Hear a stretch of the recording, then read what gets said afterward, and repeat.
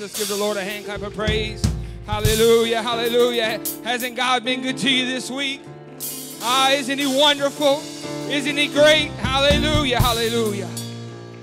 Jesus. This time we're going to go to the Lord in prayer. If you have a need in your body, just lift your hands. Lord, we come to you right now, God. Lord, we pray for every need, every situation in this service today, God. Lord, we pray for this message that's going to be brought forth, whether it be teaching or preaching, God. Lord, I'm anointing our pastor, God. Anoint our minds to understand it, God, and our hearts to receive it, Jesus. Lord, in your name. Hallelujah. Why don't we give the Lord another hand clap of praise? Hallelujah. Hallelujah. Hallelujah. It's good to be in the house of the Lord today. Hallelujah. So thankful for the presence of God. And I tell you what, uh, so thankful for what I believe God's going to do in this place today. We second service, we got two already scheduled to be baptized in Jesus' name. Hallelujah. Wednesday night, I didn't know it to after service, but we had one to receive the Holy Ghost right over here in Children's Church. Hallelujah. That's what it's all about. Hallelujah. You can be seated. Hallelujah. As a kid, were you ever tormented by a verbal bully who was maybe a little wittier or faster than you? Then you probably have used, if so, these two words. Oh, yeah? You know, that bully's pushing you to the moment. Oh, yeah? And, you, and you're, you're just letting that bully know I'm not going to let you push me around.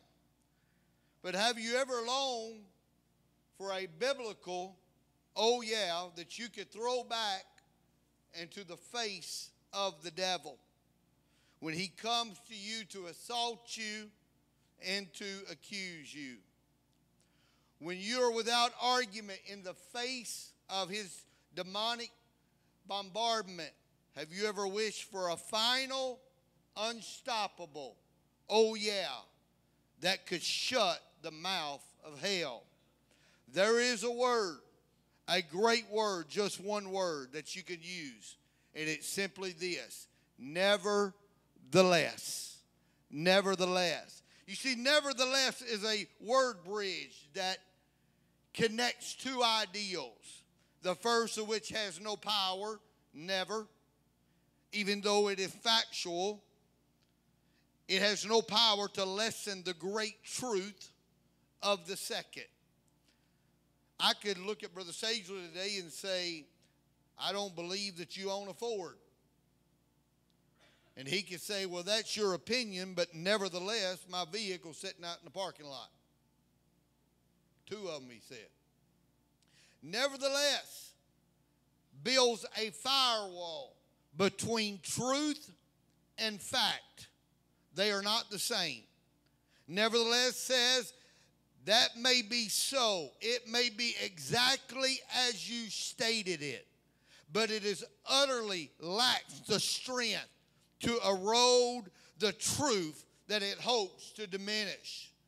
Nevertheless, it's the most efficient rebuttal to any argument. And it is the tool of great confidence. You can state facts if you want, but I cannot be shaken from the truth that I know. You know, if you'll learn today how to use this one Bible word, nevertheless, and in the face of life's most difficult circumstances, you will never be defenseless if you'll learn to use this word. Let's examine today the power of this biblical, oh yeah.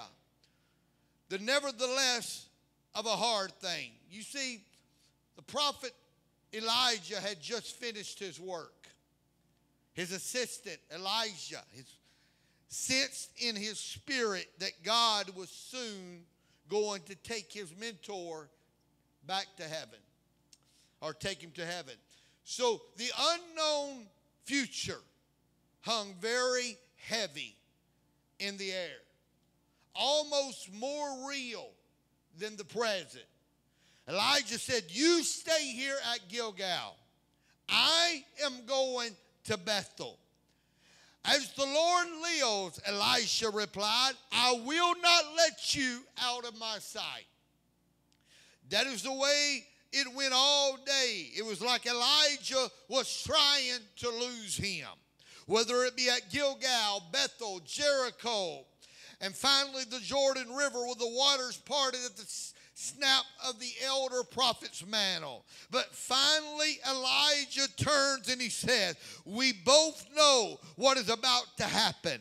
So ask what you will, Elisha. What do you want me to do for you before I'm taken away? Uh, but Elisha's answer come very quickly. Uh, let a double portion of thy spirit uh, be upon me. And Elijah's reaction is equally quick. You have asked a hard thing. Now, never once in their journeys has Elisha heard these words from Elijah when they were blinding an army, when they were praying down fire from heaven, when they were holding back the rain, toppling the house of a wicked king Ahab. None of these things did Elijah say was too hard or was a hard thing. But a double portion, that is a hard to do. Second Kings 2 and 10, he said, and he said, Thou hast asked a hard thing, but nevertheless, if thou see me, when I am taken away from thee, it shall be so unto thee. But if not, it shall not be so. Such a terrifying sight comes straight at them a chariot and horses of fire out of the sky. It drove right between them like a lightning bolt. But Elisha's eyes, brother nation, never left Elijah. Don't look away, Elisha. Your promise depends upon it. Your double portion depends upon it. Most Bible readers will tell you that the chariot of fire is what took Elijah to heaven, but that ain't what the Word of God says. Check it out. The Bible says that a whirlwind took him away. The chariot was a distraction. But Elisha kept his focus. Elisha had indeed asked for a hard thing.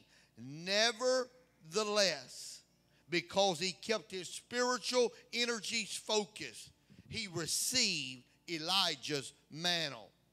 Years later, as he laid there dying, Elisha was visited by the king Joash, who was afraid of the Syrians. The prophet had him to shoot an arrow out the window, and he declared it the arrow of the Lord's deliverance. He then, then commanded Joash to take his other arrows and to strike the ground, assuming that he would realize that this was a very prophetic moment. When Joash only struck the ground, three times. Elisha become, Brother McDaniel, very angry. Here was a young man, like many modern Christians, who do not strike enough, who do not seek, cry, pray, or ask big enough.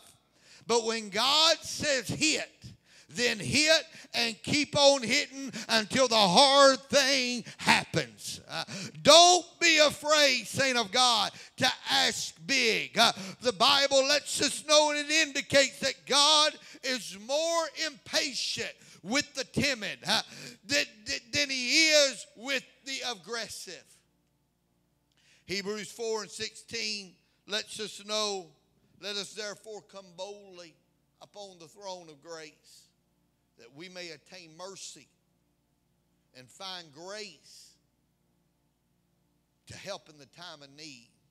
With every great undertaking, there will always be Job's comforters around to tell you what is impossible, what is impractical, what is impulsive, what is imperfect, and what is improbable. There will always be a Sanballat and a, and, a, and a Tobiah at your elbow to tell you how unachievable your dreams is, your desires, and your goals are. Huh? Such voices of discouragement are a dime a dozen. That's Nehemiah, the wall builder, uh, who had the perfect answer in the face of an army of dream killers. Uh, he said in Nehemiah 11, 4 and 9, Nevertheless, we made our prayer unto God and we set a watch against them day and night because of them.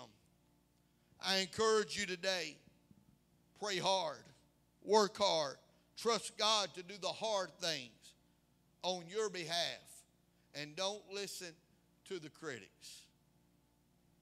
Then we got the nevertheless of a sure foundation. The words did not originate with some late night comic or sharp, witted politician or even an ancient philosopher. But in their original form, they belonged to Jesus, who knew that the enemies of truth run in packs. He said in Matthew 7 and 15, Beware of false prophets, which come to you in sheep's clothing, but inwardly they are raven wolves. Paul also anticipated an onslaught of liberalism against the infant church after his death. False brethren armed with personalities, educations, charisma, intellect, but mostly with appetite to devour the faith of defenseless little lambs. In Acts 20 and 29 through 30, he said, For I know this, that after my departing shall grievous wolves enter in among you, not sparing the flock. Uh, also of your own self shall man arise, uh, speaking perverse things to draw away disciples after them. Uh, they are cowards, he's saying, for the most part. They're wanting to lure the young, young and, and the innocent uh, away from the foe, away from the flock, so they can pounce on them with their mockery and their argument and their intimidation. Uh, and our moral society, even in 2024, loves these tolerant, liberal, sophisticated Christians uh, because of their lifestyle. Uh, it does not create conviction uh, or it does not break the status quo or disturb their comfort zone. Hallelujah. Youthful, innocent, brand new converts are lacerated without pity and even made to feel guilty for their holy and separated lifestyle by liberal so called Christians with their false freedoms. And in such antagonist religious atmosphere, believers, especially young believers, need an irrefutable, undebatable answer that dismisses these adversaries and strengthens their faith. That answer, which by the way infuriates the new breed of false so called Christians, uh, is found in clear, calm syllables of this nevertheless. Nevertheless. May find yourself at the end of your own intellect when attempted to defend your faith against those who have spent maybe years honing their argument to a fine edge. But no matter how bright, no matter how well prepared you are, you may eventually come up against a brighter and more better prepared opponent. Didn't say that they have the truth. I'm just saying how it works. But if you'll arm yourself with the ultimate answer, you'll never be defeated. Wait until they've spent all of their energy, used up all of their intellectual ammunition, and stand triumphant over what they expect you to be in a defeated form. And when the naysayer says, There, what do you have to say about that? Just one word is all that you have to say without a hint of panic. Nevertheless, I'm going to live for God. Nevertheless, uh, but but but it seems like your whole world's falling apart since you started going to church. Nevertheless, I'm going to keep going to church. it seems like since you started paying your tithes and your offering that you have, nevertheless, I'm going to keep doing what I'm supposed to do. It seems like the more faithful you are, the harder it gets. Nevertheless, I'm going to keep living for God. Job said, Though he slay me, yet will I trust him. Hallelujah. Enemy, after all of your arguments, and despite your obvious intellect, you cannot tear down the foundation of God in your life, in my life. I don't need to even defend it. Second Timothy 2 and 19 says, Nevertheless, the foundation of God standeth sure. Having this seal, the Lord knoweth them that are his. And let every one that nameth the name of Christ depart from iniquity. Now I want to move forward with the nevertheless of trials. Nowhere does the Bible promise that saints of God will have a life of ease. In fact, many scriptures say the exact opposite. Psalm 34 and 19, it tells us that many are the afflictions of the righteous, but the Lord delivereth them out of them all. We sometimes try to impose on God our limited understanding of fairness. And we quickly find out that He will not submit because there's nowhere in that book that He promised that everything's fair. A mother of three must have three equal candy bars, or else she will have to divide the one she has into three equal portions. Never, or hopefully she wouldn't, never would she give the candy to one child and ask the other two children to rejoice while they watch him eat. Yet that is precisely what God does.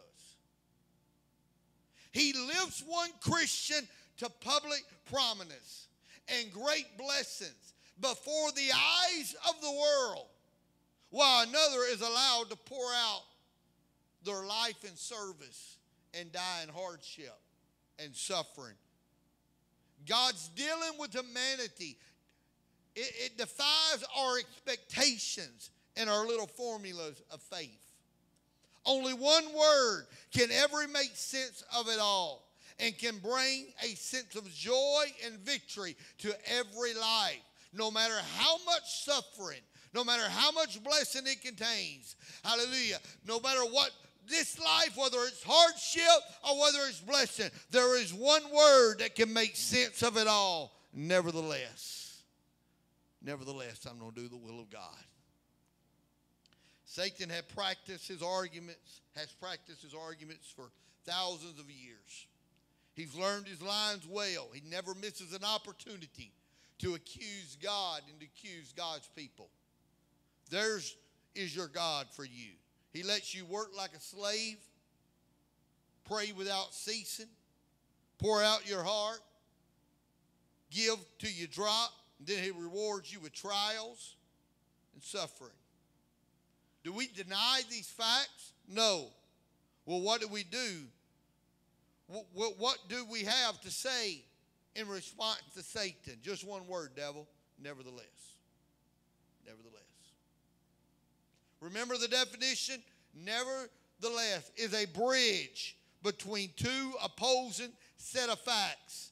The first of which, my suffering, cannot invalidate or dilute the latter, God's goodness. 2 Timothy 1 and 12 tells us, For the which cause I also suffer these things.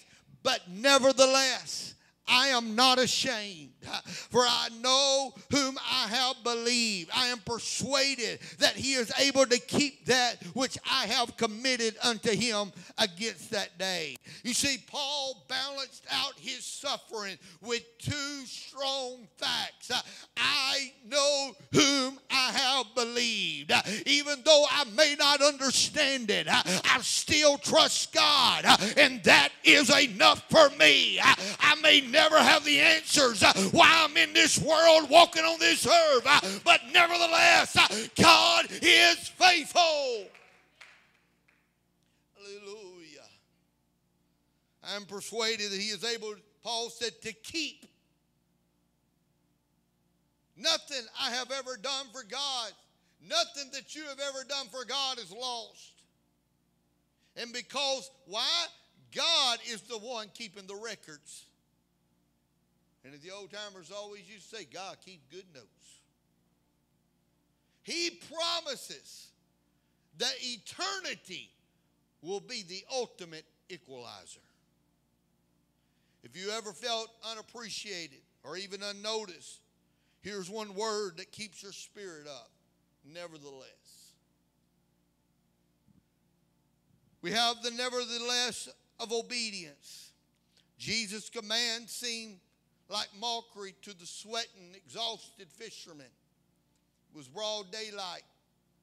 And even a carpenter would should know that you cannot catch fish on the Sea of Galilee in broad daylight. Peter and the others had labored all night long, and now they're very tired, very weak. Now, this prophet from the, the landlocked village of Nazareth is spouting off direction as though he knows something about fishing. Peter has the right to feel fatigue and more than a little frustrated. All right? Peter's thinking, I'll do it. I'll cast the nets out one more time, but not without letting everyone know what I think is a stupid idea. If this carpenter wants nets, he'll get nets. Wet, heavy, empty nets. But in spite of Peter's reluctance, and maybe even a little bit of rebellion within him, Peter decides to accept with one powerful word. Uh, Luke 5 and 5 says, And Simon answered, said unto him, Master, we have toiled all the night and have taken nothing. Nevertheless, at thy word, I will let down the net.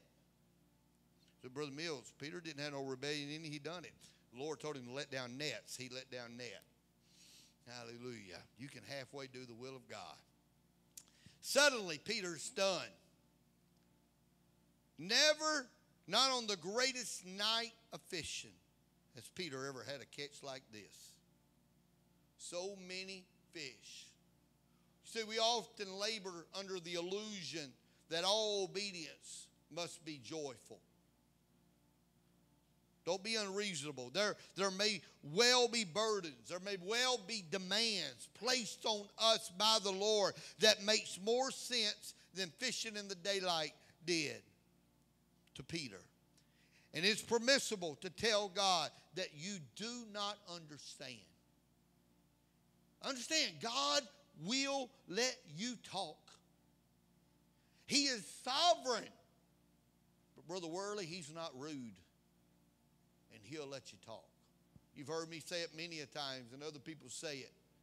We talk about, I've heard people say it all my life. You can't question God. Show me where that's in the book. It's not in there. Job questioned God, but he did not charge God foolishly. There's the line. It's okay to take your questions to God. How can I cast my cares, my anxieties upon him? Is what that word means without having questions. But in the end, nevertheless, I'm still don't trust him. I'm still don't have confidence in him. Hallelujah. God is not upset by your, your explanations as to why the situation is impossible for you. So let God hear it all. However, when you're finished telling him why it does not make sense to you, and he answers with silence, be sure to obey with the one word that will unlock the miraculous in your life, nevertheless. Miraculous, supernatural, abundant blessings await the exhausted workers who will, despite their own common sense, cast their nets just one more time in obedience to the Lord. The more unlikely the command, the greater the miracle. First comes the nevertheless, then comes the miracles. So when you're so when you're too tired, when dealing with this thing called life, when maybe you're too young, maybe you're too old, maybe you're too poor, too unknown, too burdened, too imperfect, too unspiritual to obey God's voice, tell him all about it. Let him know your complaints and then answer with the word that he wants to hear, regardless, Lord, nevertheless. Galatians 6 and 9 tells us, Let us not be weary in well doing, for in due season we shall reap if we faint not. If we faint not. The nevertheless of Calvary. The demons danced around him in his agony as he tries to pray in the Garden of Gethsemane. And those torturing mental images, I believe, of what laid ahead for the Lord begin to rip at his soul. Soon will come the crucifixion that will deliver him at the hands of others. He looks I can imagine he looked between his hands where they claw at the massive rocks, rock, excuse me, where he prayed. Is it raining? No, it's blood. Is it raining blood? No. He finally realizes that the blood is his own.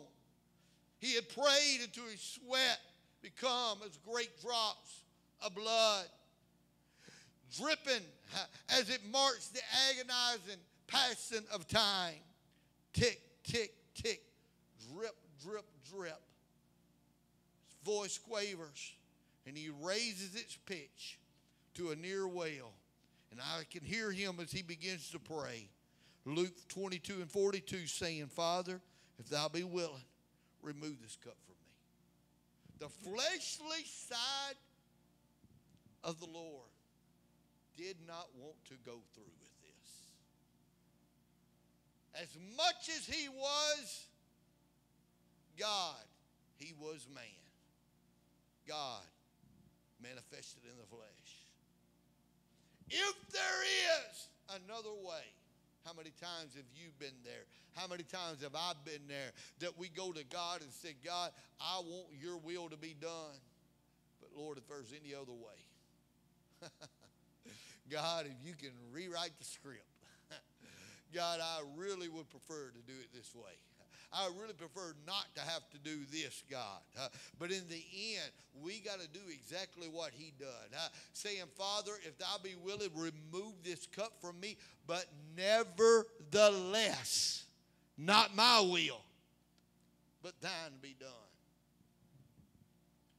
The demons do their, then the demons begin to do their worst and having shown him all the pain that awaits him, having displayed uh, before him the humiliating pictures. I could, I could only imagine what's going on through his mind of his, the, his naked body suspended cruelly for all to see. Having tormented his imaginations with the images of hell itself, they now show him the most horrible thing of all, Brother McDaniels, my sins and your sins.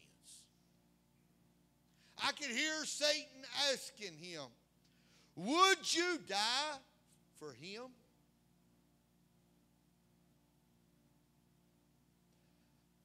My depraved indifference, my lying tongue, my blackest deeds, the arrogant self worship that was paraded before his his pleading soul must surely have been the most torture of all to die, to sacrifice, to lay down one's life for the great or even the good is one thing, but to fling one's life uh, uh, into the sewer for a perverted, sinful flesh, uh, to the very arms of hell uh, for a degenerated, hell bent rich. Uh, it's nothing but it seems like to me and you a reckless waste that must have been completely confusing the minds of the horrified angels that looked upon.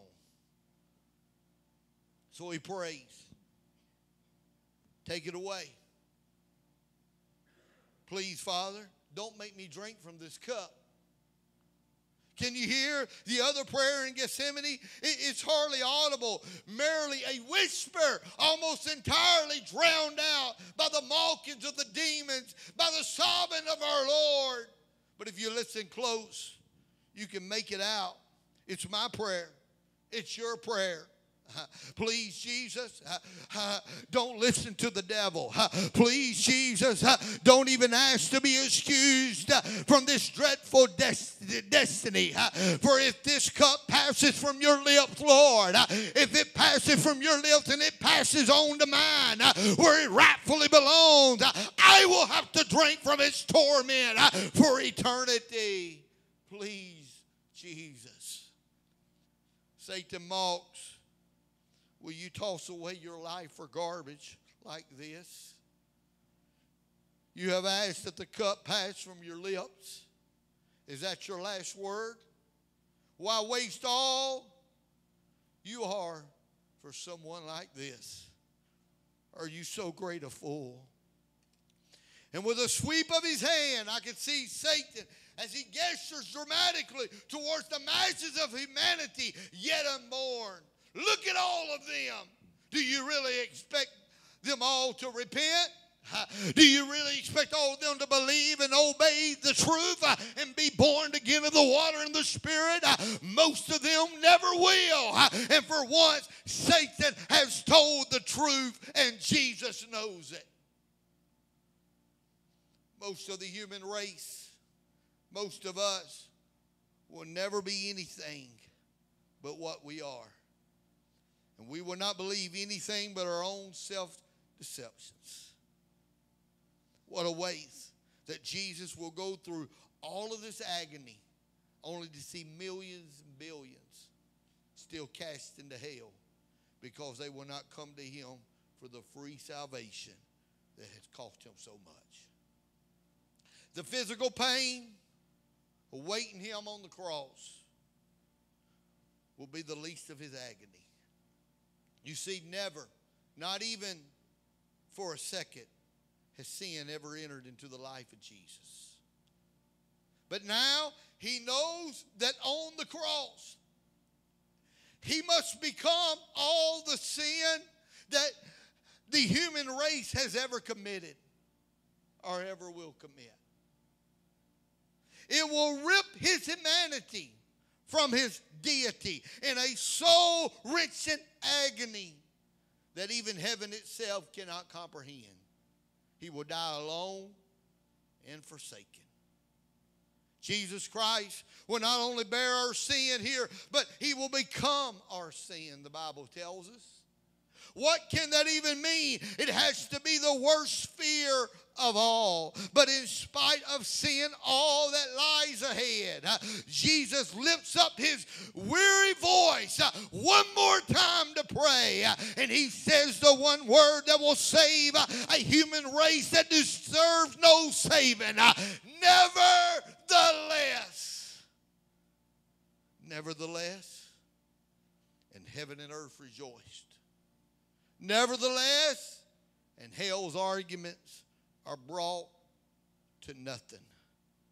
Nevertheless, and the great gap between the horrible truth about me and the horrible truth about you, and God's incredible love for me and God's incredible love for you is eternally bridge with the bridge of nevertheless. Psalms 85 and 10 lets us know that mercy and truth are met together. Righteousness and peace have kissed each other. In that one word, where Jesus said, Nevertheless, Jesus says so much, very more about his love for me, his love for you.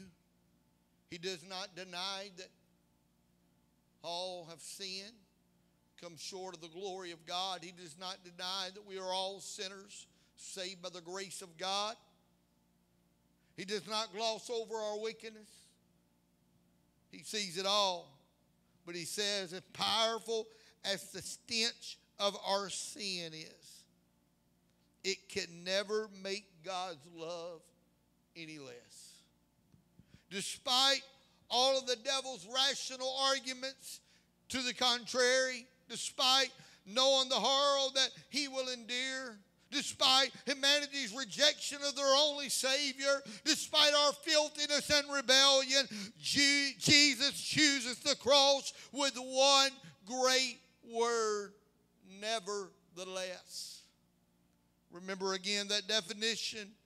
Nevertheless is a bridge between two opposing set of facts, the first of which my sin cannot invalidate or even dilute the latter God's love.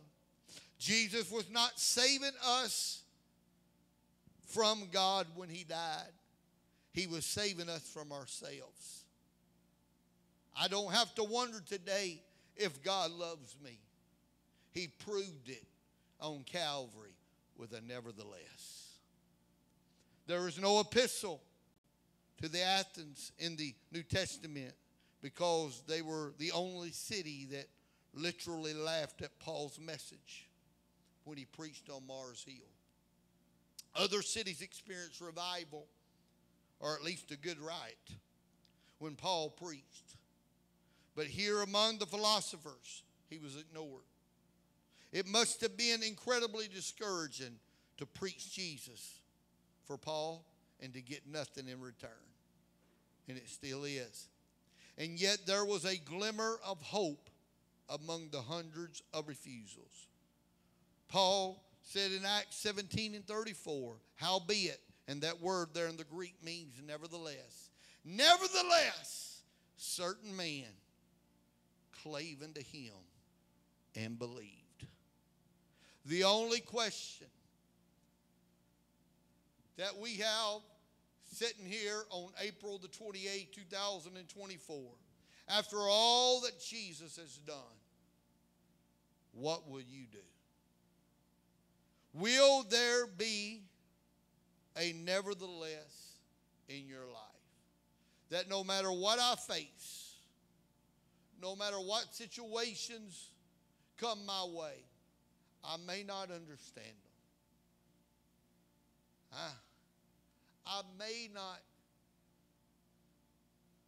have the answers, but I can have a nevertheless.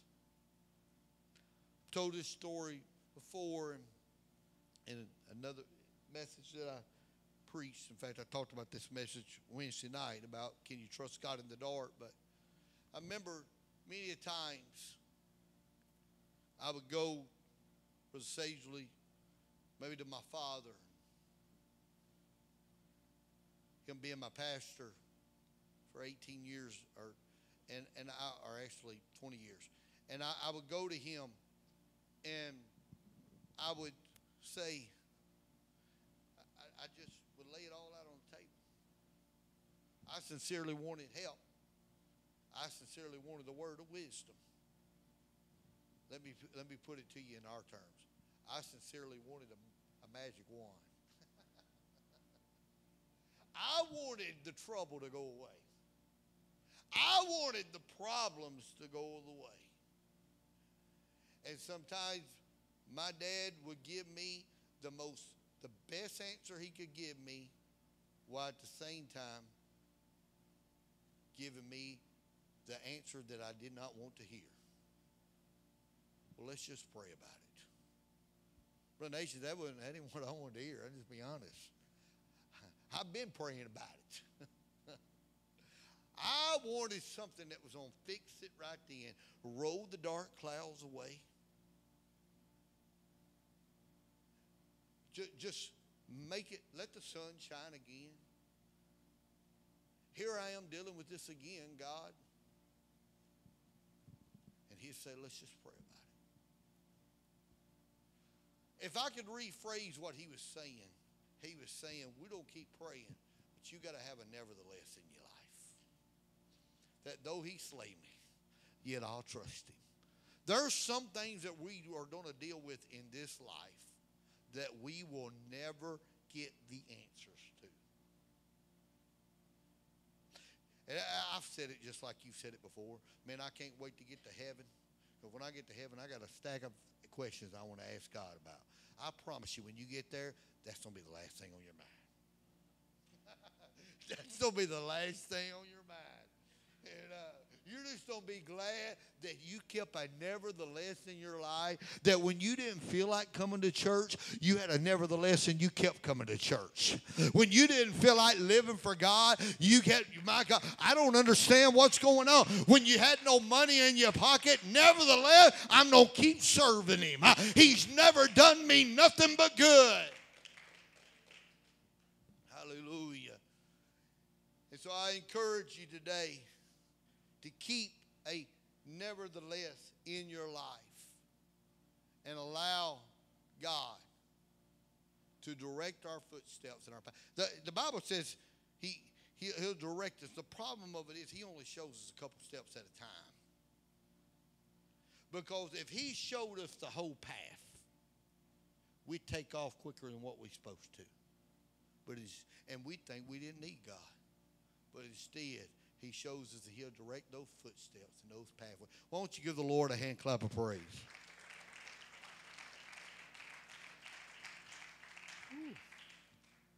Starting to feel pretty good now, Brother Sagely. Hallelujah. I was sick all day yesterday and uh, never hardly made it off the couch. And uh, I'm not running no fever right now. I was running it all day yesterday. It broke in the middle of the night. And thank God. And uh, bad headache and just very nausea and everything. But nevertheless, I was ready to come to church today. Hallelujah. Hallelujah. I'm not saying, not saying I felt like it, but I, I promise you, uh, when the anointing started started hitting, I started feeling pretty good and everything. So thankful for each and every one that's here, and we're excited about what God is going to do in this second service, believing in God for great things. Shake hands, you're dismissed, and we'll pick back up here in a minute.